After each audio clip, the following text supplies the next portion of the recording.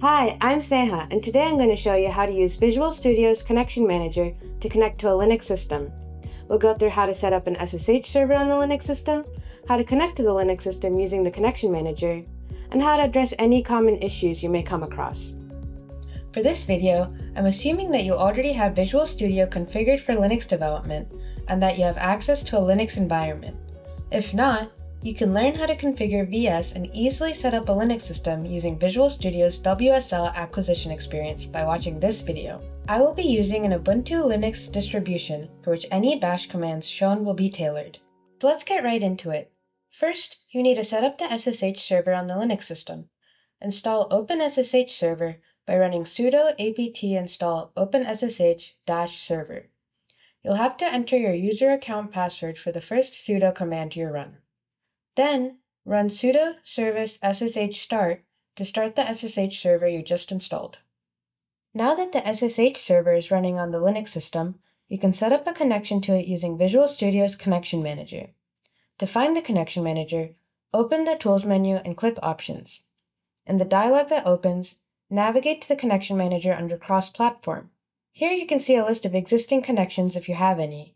To add a connection to the Linux system, you just started the SSH server on, click the Add button on the top right corner to open the Connect to Remote System window. Let's go through all of the input fields. Hostname is the name or IP address of the Linux system. It can be found by running hostname-i on the Linux system. If your Linux machine is in a private network, this command will only return the private IP address. To get the public IP address, you can use a third-party endpoint and run curl ifconfig.me. Port references the port that the SSH service is running on. By default, OpenSSH servers are configured to run on port 22. However, if you want to confirm the port, it can be found by running this command on the Linux system.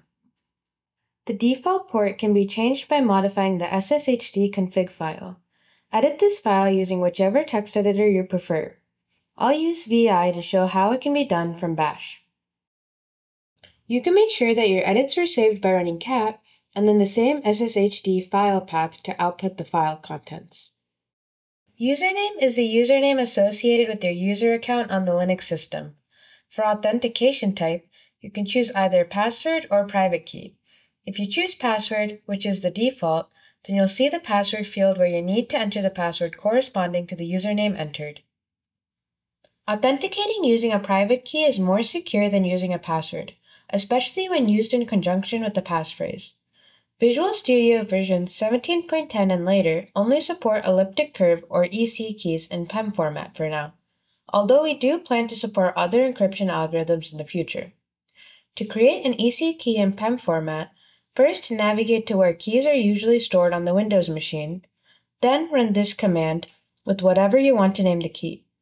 It will prompt you to create a passphrase associated with this key, which you can optionally leave empty. If you do enter a passphrase, it must be at least five characters long. You've now created a public and private key pair. The file ending in .pub is the public key. The file without the extension is the private key. The private key should stay on the Windows machine and be kept secret. The public key needs to be shared with the Linux system.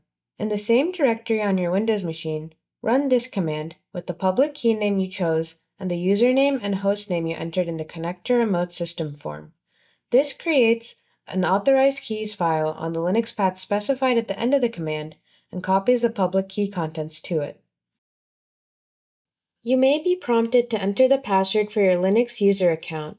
The first time you connect to a remote host that your local Windows computer doesn't recognize, you'll also be prompted to confirm that you're sure you want to connect. If you want to double check if the public key got copied over, on the Linux system you can navigate to the authorized key file path and run cat authorized underscore keys to output all the public keys stored in the file and make sure one matches the public key on the Windows machine. Run cat your key name and then dot .pub on the Windows machine from the directory where the public key is stored for a comparison. Now that the public key has been added to the authorized keys of the Linux system, you're ready to fill out the rest of the connection fields with the private key information. Select the private key file using the file picker and enter its corresponding passphrase. For simple connection scenarios, you are now ready to connect. If your Linux machine relies on connecting to an intermediary SSH host before connecting to the desired Linux machine, then you'll need to check the Use Proxy Jump box and fill out the additional fields. Proxy Jump allows your SSH tunnel to go through one SSH host, the proxy, to connect to a target SSH host. When you select the checkbox, you'll notice that the same form as above is copied below, but with the proxy distinction. The proxy labeled fields are for the connection information of the proxy SSH host that's in between your machine and the target machine. The fields for the proxy can be filled out in the same manner the fields for the target were filled out. Now that you know all the various options, go ahead and hit connect. If you successfully connected, the dialog should disappear and a new connection should appear in this list. If you have a connection error, the error information will be displayed in an info bar up top and the relevant fields you should investigate will be highlighted. Let's go through the main errors and how to address them. One type of error is connectivity failure. This occurs because an initial ping to the Linux system failed. Ensure the hostname and port are entered correctly. If this doesn't resolve the error, check that the SSH server on the Linux system is still running. Windows may also be unable to connect to the specified port, so you can try to change the port the SSH server is running on. An authentication failure means that either the username or password were entered incorrectly.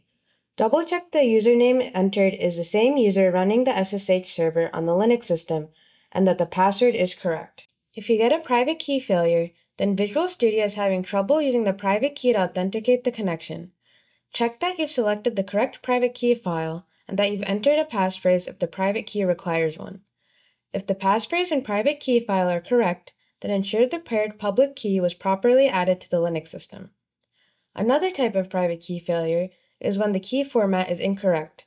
Remember that for now, Visual Studio 17.10 and later only support keys in PEM format that use the EC SSH algorithm. An unknown failure means that an exception occurred that resulted in Visual Studio failing to connect to the Linux system, the specific error message will be logged in the file shown in the info bar and should be used to debug the problem. If you want to set an existing connection to be the default remote SSH connection, then you can click the radio button under default. To edit a connection, select the connection and click the edit button. This will open the Connect to Remote System dialog with existing connection information filled out, except for the passwords and passphrases. You can verify that an existing connection is active by selecting the connection and clicking Verify. If a failure is given, this means either the SSH server needs to be restarted or the connection configuration has changed somehow, such as the public key being deleted from the Linux system. An existing connection can be deleted by selecting it and clicking Remove. If you open a Linux project, you'll see your newly added connection in the target machine selection dropdown. Congrats on learning how to use Visual Studio's Connection Manager. We use community feedback to continuously improve the Linux development workflow in Visual Studio, so make sure to leave a comment about your experience with the Connection Manager. If you'd like to learn more about Linux development in Visual Studio, check out this playlist and take a look at the links down in the description. Be sure to subscribe to stay up to date on all the new Linux features upcoming in Visual Studio.